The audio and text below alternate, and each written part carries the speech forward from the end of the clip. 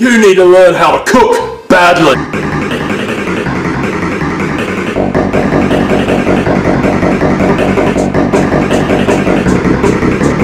Tonight, you need to learn how to cook badly.